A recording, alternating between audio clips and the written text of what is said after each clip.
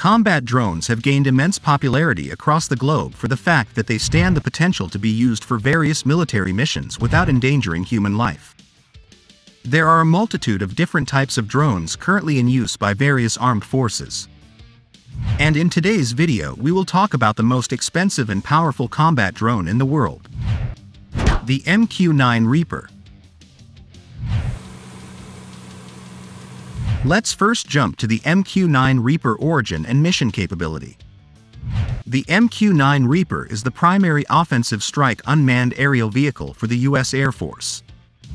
It is a large unmanned aircraft manufactured by military contractor General Atomics. It's remotely operated by a two-person team, consisting of a pilot and an aircrew member who operates sensors and guides weapons. The M in its name stand for multi-role, and Q means remotely piloted aircraft system, and the 9 indicates it is the ninth in the series of remotely piloted aircraft systems. The U.S. Air Force Air Combat Command initiated the MQ-9 Reaper program on May 2, 2002. Although a handful of aircraft were purchased in the following years for testing and development, it wasn't until 2006 that the Pentagon began ramping up production. At the time, Reaper procurement was still combined with its predecessor, the MQ-1 Predator. The first Reaper Squadron, the 42nd Attack Squadron, was activated on November 6, 2006 and became operational in 2007. The MQ-9 Reaper is an armed, multi-mission, medium-altitude, long-endurance remotely piloted aircraft that is employed primarily against dynamic execution targets and secondarily as an intelligence collection asset. Given its significant loiter time, wide-range sensors, multi-mode communication suite, and precision weapons, it provides a unique capability to perform strike, coordination, and reconnaissance against high-value, fleeting, and time-sensitive targets. Next, we will talk about the design and performance of MQ-9 Reaper.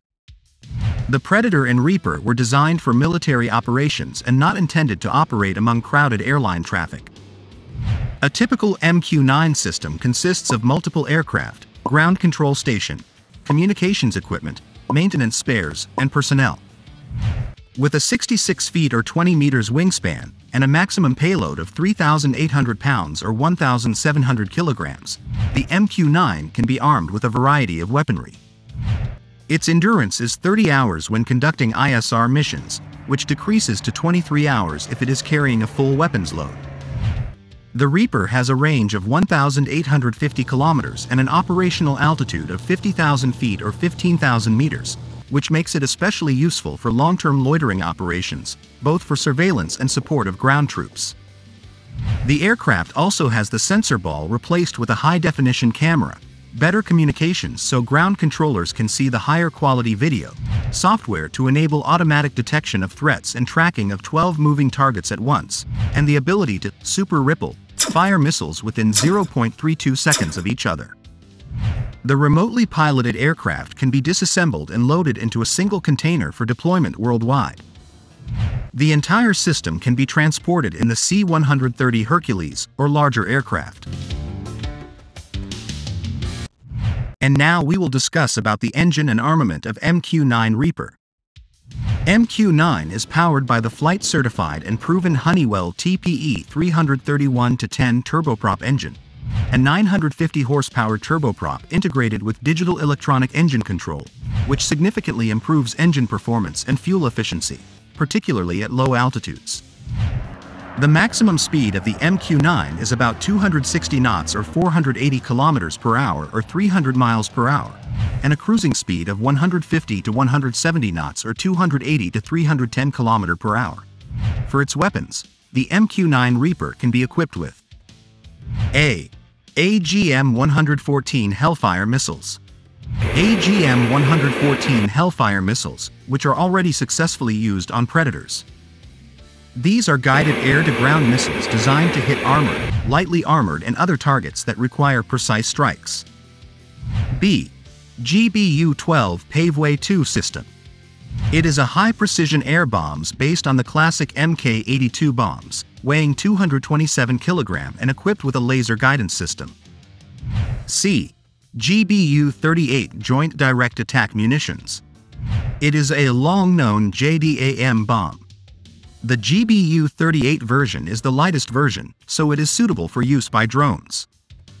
JDAM bombs have a control section and are aimed at the target using GPS and an inertial system. And D, it can also use GBU-54 laser ammunition systems that combine JDAM accuracy with laser pointers. These bombs can also attack moving targets. The military can choose the weapons depends on the specific task and missions. And last, let's jump into the technology features and price of the MQ-9 Reaper. A. The MQ-9 Baseline System the MQ-9 baseline system has a robust sensor suite for targeting.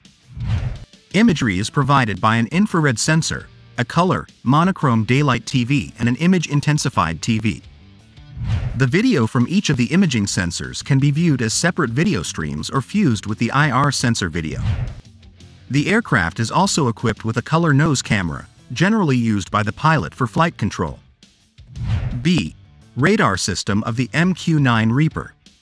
The radar system on the Predator B also represented an upgrade over the earlier Predator series. Since the Predator B was expected to act as a strike vehicle, a better targeting radar was developed by General Atomics in conjunction with Sandia National Laboratories. The new radar system was known as the Lynx Synthetic Aperture Radar. Not only does the new radar have 4-inch imagery resolution, it can also zoom. It allows the Predator B to accomplish its ground imaging role even in poor conditions. C. The Ground Control Station or GCS. The ground control station functions as the aircraft crew can control the aircraft either within line of sight or beyond line of sight via a combination of satellite relay and terrestrial communications. The GCS is either mobile to support forward operating locations or fixed at a facility to support remote split operations.